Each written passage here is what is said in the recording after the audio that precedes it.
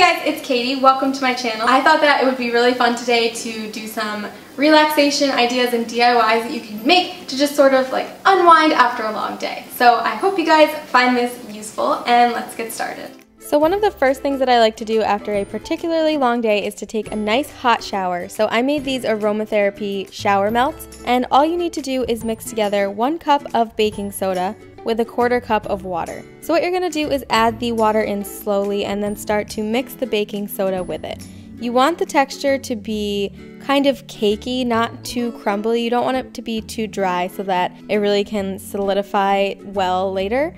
So I just add my water in a little bit at a time, making sure that I'm not adding too much. Next, what I do is put in my essential oils, and I'm using eucalyptus and peppermint because I think that these are really invigorating, fresh scents and the amount that you add is really up to you as far as how strong you want the smell to be. I think I added about 10 drops of each one. Then I just dropped a little bit into a silicone mold. You can use any type of mold that you want, but I think the silicone works best. Then just leave them to harden for about 24 hours. To store them, you just need to put them in an airtight container and keep them in a cool, dry place.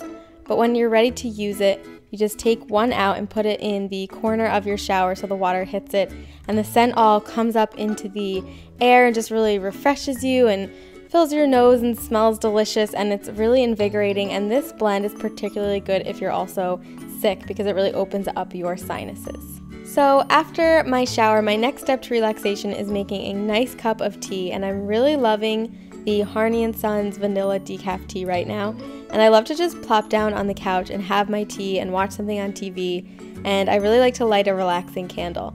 So what I'm going to show you how to do now is to make a soy candle using the tin from the tea because they have really pretty tins and I hate throwing them away when I'm done with them. So all you're going to do is make a double boiler by putting some water into a saucepan and then putting a glass bowl or jar on top and then you can just add some soy flakes in.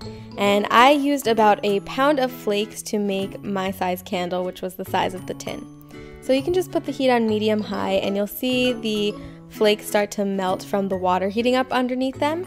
And then once it gets completely melted, you want to add your essential oil. I'm using lavender because that's a very relaxing scent to me. Then I just take my wick and put the metal part into the wax and stick it to the bottom of the tin and then I wrap the top of it around a skewer so that it doesn't move when I'm pouring the wax in. Then I just grab my wax and pour it slowly into the tin and the reason you want to do it slowly is so that no air bubbles form. Then you can just leave it overnight to harden and cut the wick and then you are ready to light it and it smells really good.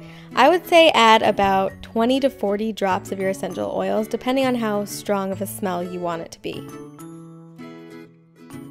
And this last project I am just so in love with. It is a mini zen garden. And so what I did was just take a glass terrarium bowl and added some sand to it that I just picked up at the craft store. And this bowl took about two bags of that sand. And then I took a fake succulent. Now you could use a real one, but let's be honest, I'm not going to water this. So I just took a fake one and put it into my sand and then covered it up. And then all you need to do is grab a skewer or some sort of pointy object and start drawing designs in the sand. And it's said to be really relaxing to just sort of have this here and do like a mindless activity like drawing designs or raking. I got this really cute tiny rake in the fairy garden section of the craft store. And you can put it on your desk or your nightstand and it's just something that you can kind of take a break and do when you're feeling a little bit stressed out.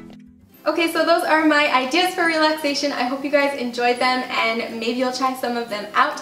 Let me know if you guys have any other cool relaxation techniques in the comments below because I'm always looking for new ones. And if you guys like this, give it a thumbs up. And if you're not already subscribed to my channel, go ahead and do that right now if you want to see more videos from me.